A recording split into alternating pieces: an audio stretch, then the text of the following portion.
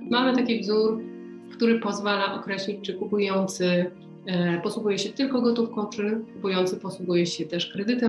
Źle zawrzemy mm, umowę przedwstępną sprzedaży i zakupu nieruchomości, to możemy nawet stracić, możemy stracić wszelkie pieniądze. Dzień dobry, Agnieszka Pies, to kanał Państwo Pies, to kanał o przedsiębiorczości i o inwestowaniu w nieruchomości. Dzisiaj chciałabym z Wami porozmawiać na temat umowy przedwstępnej.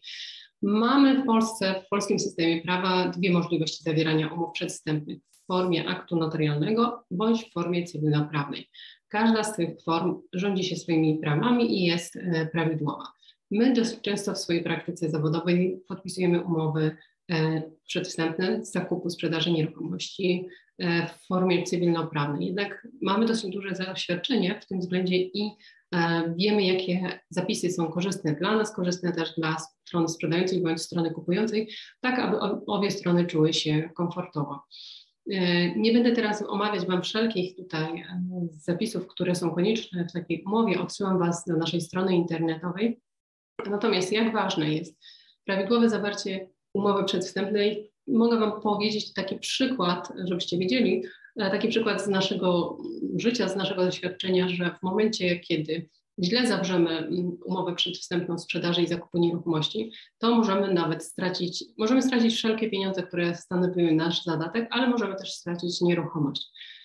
Czasami zdarza się tak, że, że my jako osoba sprzedająca przyjmujemy bardzo wysoki zadatek, na poczet zakupu danej nieruchomości. Jeżeli okaże się, że z jakichś powodów, nawet od nas niezależnych, nie uda nam się w określonym terminie doprowadzić do zawarcia umowy przyrzeczonej, to możemy stracić nawet całą nieruchomość.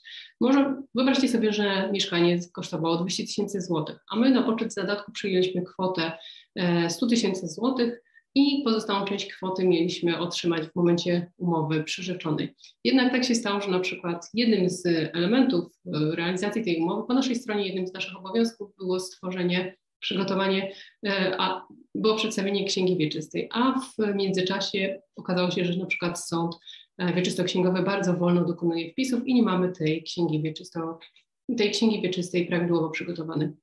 Możemy wtedy być zobowiązani do zwrotu dwukrotności zadatku, który przyjęliśmy, czyli kwoty 200 tysięcy złotych i osoba kupująca od nas teoretycznie i w praktyce również mogłaby dochodzić e, wypłaty 200 tysięcy złotych. W związku z tym jeszcze raz uczulam Was na to bardzo serdecznie, żebyście albo konsultowali się z prawnikiem, albo konsultowali się w kancelarii e, prawnej, albo ewentualnie zakupili od nas gotowe wzory e, umów przedwstępnych dotyczących sprzedaży, zakupu nieruchomości.